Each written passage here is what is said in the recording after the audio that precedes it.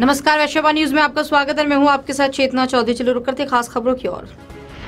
मुजफ्फरपुर को smart city में चयनित हुए काफ़ी अरसा बीत गया और कार केवल कागज़ तक ही सीमित है। ऐसा कोई विकास नहीं हुआ, जिससे बिहार के मुजफ्फरपुर जिला की जनता इसे स्मार्ट सिटी कह सके। वार्ड संख्या एक के प्रत्याशी उमेश कुमार गुप्ता जी ने कहा कि मैं वार्ड संख्या एक के प्रत्याशी के रूप में हूँ। और जनता के आशीर्वाद से मैं जीत कर आता हूँ तो मैं हर बिंदु पर कार्य करने की कोशिश करूँगा, जिससे हमारी मुजफ्फरपुर की जनता त्रस्त है। हम लोग सरकार और चुनाव आयोग के फैसले के इंतज़ार में हैं। जब राजन कुमार राज जी ने उनसे बात की तो सुनिए उन्होंने क्या कहा। मेरा नाम उमेश कुमार गुप्ता हुआ, वार्ड नंबर एक, और जिला मुजफ्फरपुर, बैकुंठपुरी, नौतनी भगत सिंह मंदिर और इस बार मैं अपने वार्ड नंबर एक से प्रत्याशी भी हूँ। मेरा चुनाव चिन्ह ढोलक छाप है। ये आप ढोलक साहब से खड़ा हुए हैं। यहाँ पे कितना जनता का सपोर्ट है? यहाँ पे जनता का पूरा सहयोग मिला। तभी हमने नॉमिनेशन दिया। जनता का पूरा सहयोग है। जो भी एरिया है सारे एरिया में हम कुछ अपने तरफ़ से भी शुरू से बिना कोई पद पे रहे हुए बहुत सारी योजनाओं को हम लाभ हम अपने मोहल्लावासी के लोग को दिलाते रहे हैं।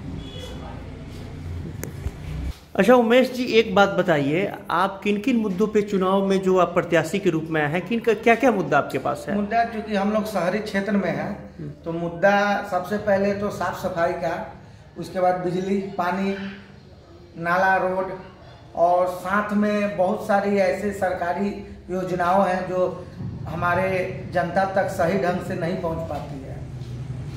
अभी अभी प्रत्याशी के रूप जो पूर्व प्रत्याशी रहे हैं उनसे अपने आप को कैसे आंकते हैं? पहले के जो भी प्रत्याशी थे जब से हम लोगों का क्षेत्र निगम बना तब से अभी तक जितने भी प्रत्याशी थे सिर्फ़ वो लोग राशन कार्ड आवासीय जाति प्रमाण पत्र यही तक जनता लोगों को दिलाते रहे। उसके अलावा अन्य बहुत सारी सुविधाएँ हैं।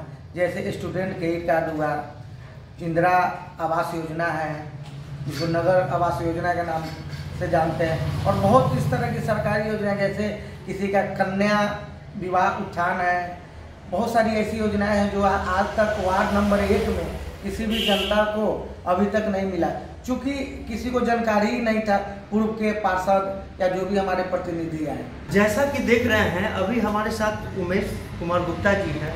और ये काफ़ी जोश खरोश के साथ इस बार वार्ड नंबर एक से प्रत्याशी के रूप में है। और इनका स्पष्ट शब्दों में कहना है कि जनता हमारे साथ है, जनता के बीच में हम हैं, और जो भी जनता का जो मुद्दा है, जैसे राशन कार्ड, जैसे नगर आवास योजना का जो आवास योजना है वो कन्या उत्थान योजना, सड़क, नाला स्वास्थ्य, इन सभी मुद्दों पे मेरा बराबर जनता के बीच में फोकस रहेगा और मैं जनता के समक्ष की ये कोशिश करूँगा कि ये सारी सुविधाएँ जनता को मुहैया हो और मैं इसमें बखूबी हम और जनता मिलकर इस चीज़ को उठाएँगे। मैं राजन, वैश्य व्यापार न्यूज़ चैनल, मुजफ्फरपुर।